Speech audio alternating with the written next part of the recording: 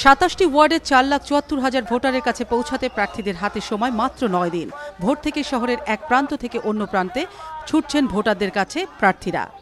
Vote হবার সঙ্গে সঙ্গে নৌকার প্রার্থী সেলিনা হায়াত আইভি ভোট চাইছেন বন্দর এলাকার সাধারণ মানুষের কাছে। শেষ দিকে এসে একে অন্যের বিরুদ্ধে নানা অভিযোগ তুলছেন তারা। নারায়ণগঞ্জে আওয়ামী লীগ, বিএনপি একাকার হয়ে গিয়েছে, আইভির জন্য, নৌকার জন্য। এখানে কোনো দল নাই, এখানে কোনো মত নাই। কাজ করেছি, সকল দলের ঊর্ধ্বে উঠে। সুতরাং এখানে আওয়ামী লীগ, বিএনপি না। আপনি নারায়ণগঞ্জের পথে ঘাটে হাঁটুন, আপনি দেখুন কোথাও আওয়ামী লীগ বিএনপির ডিফারেন্স খুঁজে পাবেন কিনা, আইভি এবং নৌকার জন্য। সুতরাং বিভেদ যিনি তুলছে সে কতটুকু বিএনপি, সে নিজেকে আগে জিজ্ঞেস করুক। বিএনপির প্রার্থীও ব্যস্ত সময় পার করছেন সদরের বিভিন্ন ওয়ার্ডে ওয়ার্ডে।